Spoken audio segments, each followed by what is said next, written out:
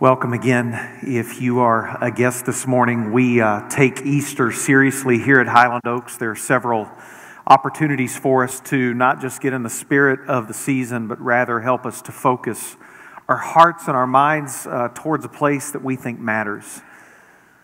Today is Palm Sunday, Sunday before Easter, and I just want to begin not by reading the text, but allowing you to see the text. And so I'm going to give you just a few moments to ponder what's on the screen before you. And then I would like to pray and then join you as we see what God has to say.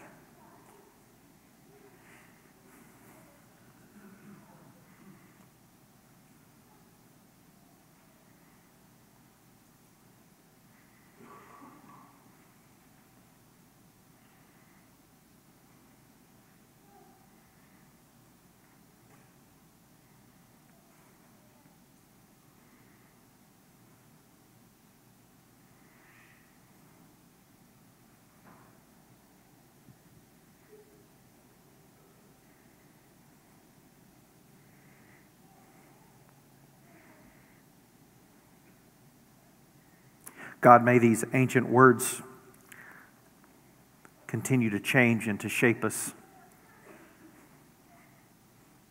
into being more like who you desire us to become.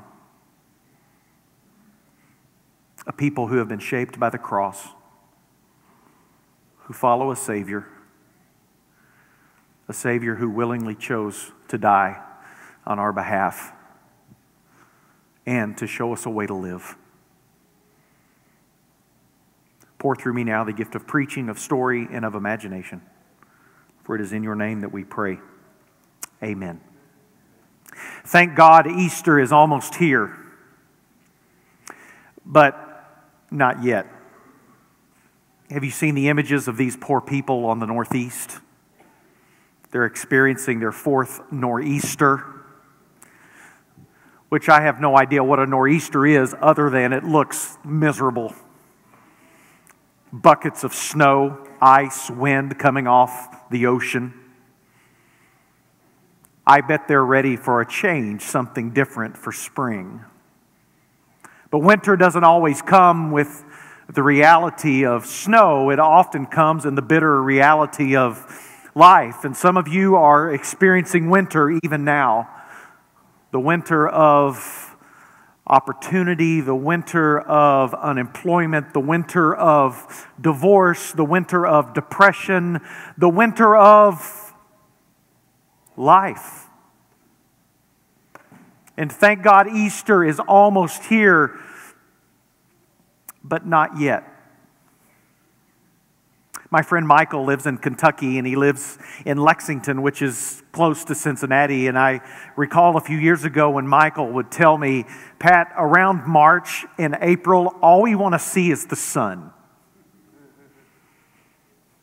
And I think this morning there's a bit of that in me. I just want to see the sun. But I hear John in this text, this cross, inviting us to a place and saying, not yet. And maybe that's the frustration with Palm Sunday, in that we teach our, our children about branches and waving them in the air and welcoming Jesus into town. And we say we need to celebrate the entrance of Jesus into Jerusalem, but don't you find it a bit ironic that we're celebrating the march of death? You see, Easter is a great thing, it's a wonderful thing, but there's a not yet that we ought to pay attention to. I heard a painful not yet story this week from my friend Emma Banks back here, whose daddy went overseas last year and won't be home until July. And every night, Emma has a bowl of Hershey Kisses that represent a day until her dad comes home. So every night, I imagine Emma looks in this bowl of Hershey Kisses and she takes one out, not two, but one out, and that one Hershey Kiss represents one more day until her dad can scoop her up into his arms and hold her once again. But not yet. This is where we have to find ourselves today. This tension of knowing that there's something that's coming that will be an enormous release, but not yet. John has us facing the reality of the cross, and he's had us here for several weeks. Jesus says, Greater love has no one than this, that he laid down his life for his friends. This was not a metaphor. This was not some parable. Jesus was actually laying down his life. The lamb was to be slaughtered. One scholar points out that the place of the cross was not the only place where blood was shed because they were shedding blood at the temple as well. It was Passover time. Death is all around. There was, for a few moments, a few days, no hope of Easter.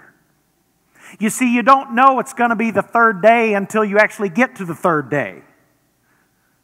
John Ortberg, in his book, Who is This Man, devotes an entire chapter to what Saturday must have been like for the disciples where they woke up after the events of Friday, after the crucifixion. And there was an entire day where they had no idea Sunday was coming. They may have been told, but the reality of doubt and despair creeps in, and there's a not yet of the cross that we must wrestle with. There's a sign above the head of Jesus King of the Jews. I think if John were writing this in our language today, John would use air quotes King of the Jews. Do you ever use air quotes? We use air quotes a lot at our house. Our youngest Andrew came up to us uh, last year and said, Hey, mom, dad, are we going to Nana and Papa's house so we can go on vacation? Obviously, not understanding what air quotes mean because air quotes are the things that you put in quotes that don't really mean what you think it means, right? Like if you have a cheese stick and you call that lunch. Or if you go on vacation to a place that you really don't enjoy and you call that getting away. You see, John is saying, Here is Jesus, King of the Jews, because this is not the king that you'd expect, which is why Palm Sunday ought to matter to us. And people throughout the centuries have depicted today, and they're celebrating today, this triumphal entry, this parade, this celebration. And I want to remind us that for John, as we discussed last week, everything is not as it seems. This is the king comes to triumph through dying. This is the one who gains victory by getting himself killed. Death is all around. So, the last words recorded by John of Jesus. In no other gospel except this one, Jesus simply says, It is finished. I don't know about you, but I don't know what to do with that. I don't particularly like death. Had a preacher one time tell me, Pat, there's nothing like a good funeral. To which I would say, You are sick and twisted, man. I'd rather do a wedding any day than a funeral. Because there's part of us that wants to ignore death. Do you remember the first time you went to see The Passion of the Christ, if you've seen it? And you sit there for like two hours of this terrible drama where they do all of these terrible things to Jesus. And then right at the end, there's this one moment where you see this. And that's it. That's the resurrection. And I remember sitting there watching this movie going, wait a second, there's more to this story. Why are you ending it there? I don't like this. Well, guess what? I still don't like it. And maybe that has more to do with me than it does about the story of Jesus because we like to ignore death. In fact, many of us try to cheat death. We take medications to get out of dying. And I'm not ignoring the reality of death. No, I want us to head straight into it Because this is what the cross invites us to learn is that death comes before resurrection. You cannot have life without death. And even when we sing about this moment of the cross, we try to color it in a way that's often not helpful. I grew up at a wonderful church called the Bel Air Church of Christ. Don't let the words Bel Air hang you up because it was anything but Bel Air Country Club. Trust me. It was a wonderful, loving place. And we had this song leader named Don. And the beautiful thing about Don is he would sing every part for everybody. And one of my favorite ones that he did was Heaven came down and glory filled my soul. And then Don would go, Filled my soul, that descant part. But listen to these words. Oh, what a wonderful, wonderful day. Day I will never forget. After I'd wandered in darkness, Jesus, my Savior, I met shadows dispelling, with joy I am telling, He made all the darkness depart. Heaven came down and glory filled my soul. Filled my soul. When at the cross the Savior made me whole, made me whole. My sins were washed away and my night was turned to day. Isn't it fascinating that we sing about glory being a good thing. And yet, John paints exactly the opposite picture. Glory for Jesus is the journey to the cross. Glory for Jesus is you dying to yourself. Glory is all about darkness. What do we do with this story? Are we willing to linger here long enough and ask what death will teach us.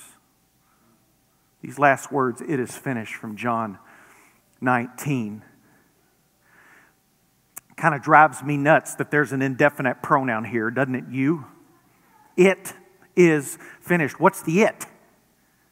John doesn't tell us what the it is. He simply says, It is finished. How would you feel if somebody walked into your house and says, It's done? What are you talking about? Well, perhaps we need to understand the word finished, and I'm so grateful for our young ladies that talked during communion about this word finished, because finish can mean a lot of things, right? Finish the yard work, finish your homework, finish that Netflix show, finish that project at work. At our house, it's finish your dinner. And then this wonderful thing that happens can I be done? In other words, the word finish, the way we often use it, focuses on the product rather than the process. And I want to think, boys, your mother has spent a lot of time. Trust me, if I'd have done it, I'd have ordered pizza. Sure, you can be done, whatever. But you need to be grateful for the process because finish is not just about moving on to what's next. It's about being deeply appreciative and satisfied of all that's been in the process. So when Jesus says it is finished, he's acknowledging this process that didn't start with his birth, that started with the story of creation. It's the whole of the story of Scripture, which is why John points out over and over again this happened so that Scripture could be fulfilled. In verse 24, they said to one another, Let's not tear it, but cast lots for it to see who gets it. This was to fulfill what the scripture says. They divided my clothes among themselves, and for clothing they cast lots. And then what we discovered last week, when Jesus knew all that was now finished, he said, In order to fulfill scripture, I am thirsty. In verse 36, these things occurred so that the scripture might be fulfilled. None of his bones shall be broken. And again, another passage of scripture says, They will look on the one whom they have pierced. It's like these signs and flashing lights Jesus is finishing, accomplishing the work that God started long before Jesus ever walked on the earth. Which was why Paul says in 1 Corinthians 15, this is the gospel where, according to the scriptures, Jesus died. You see, death is a part of the story, and as much as you would like to ignore it, you can't. Because it's here inviting us in daring us to look at its truth. And the truth is that the work of God was complete at the cross. The work of God was complete at the cross. Which is why it's a little odd that John says, after Jesus says, It is finished, he bowed his head and gave up his spirit. That's troubling as well. He bowed his head and he gave up. Do any of you like to picture Jesus as giving up? I don't. Kind of look like the Kansas State coach last night getting fired up at his team. Did Anybody watch that game? Don't quit. Don't give up. You can't give up. Giving up is the sign of defeat. It's throwing in the towel. It's saying, you know what, I'm done. But the word here for give up is misunderstood if we think it's about Jesus quitting or throwing in the towel. This phrase, give up, is the same phrase Jesus uses when he says, The Son of Man has nowhere to lay his head or give up. It's a term of rest. It's a term of everything is now whole. And so I'm wondering if part of the truth of death that we fail to embrace is this invitation for us to join Jesus in his humanity and recognize that we can be at rest in death, where death embraces death. And there's this divine moment where the death that we experience makes sense in light of the death of Jesus. It's this holy moment where we, we travel towards Resurrection Sunday, but we don't travel there yet. And we join Jesus, and our death meets his death, and we hold on and we wait. It's the missing puzzle piece of God's story. It's the puzzle piece underneath the couch that you find that completes the picture. It is finished. It's complete. So, what's the dare? I, I, think the dare is to come to grips with the reality of death and allow the death of Jesus to hold on to us in our moments of death. I can't shake this image that I saw a few weeks ago from the Florida shootings. A, a tragic event, but it happened on Ash Wednesday, if you recall. And the news captured this image of what I assume to be a mother holding her child, but the mother had just come from an Ash Wednesday service and she has the sign of the cross on her forehead. It is death embracing death.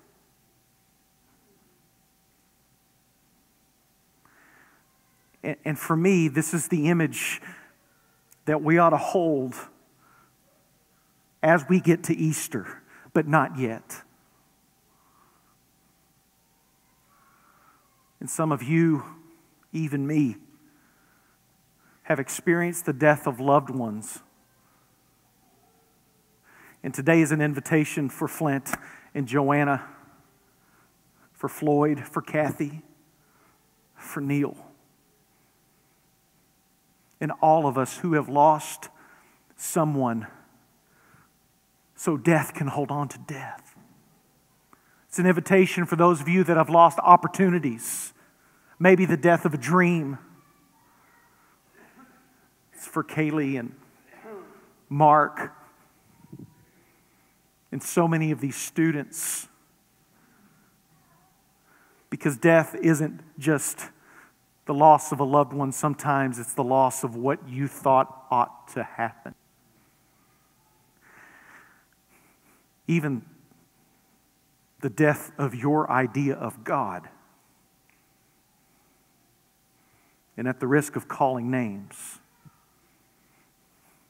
it's death that gives way to doubt, and death that gives way to despair, and death that convinces you that you are somehow less spiritual because you may not believe in God anymore.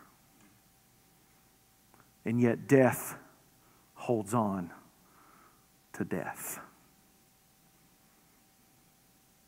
I am so ready for Easter, but not yet.